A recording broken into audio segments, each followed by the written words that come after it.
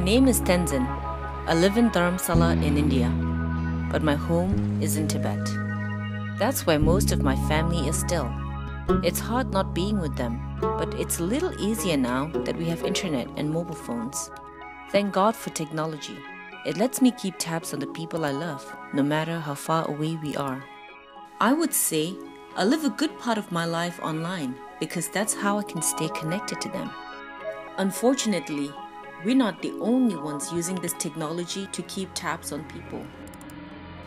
Recently, I learned something awful. In the past few years, thousands of Tibetans' computers and now also phones have been secretly infected by viruses and turned into spy tools that allow the Chinese government unrestricted access to our lives, even here in exile. I had to wonder were mine infected?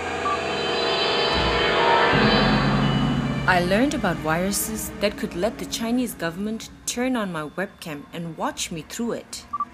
Listen to me through the microphone on my computer, record every keystroke I type, read every message I send and receive.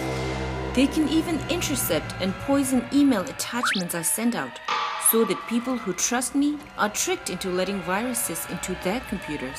Even governments and big companies aren't able to defend themselves. At first, knowing all this made me paranoid and depressed. It seemed too hard to deal with. These attacks are so sophisticated, and I'm not a tech person. I thought the only solution was to hire big time cybersecurity superheroes, or to pay a lot of money for expensive antivirus software. But then I realized that the solution was much closer than I thought. Turns out, I am the best antivirus. Digital security is all about me and my good habits online. Think before you click. Keep your software up to date. Know your app. Don't give the bad guys permission to enter your life. Remember, the best antivirus is me and you.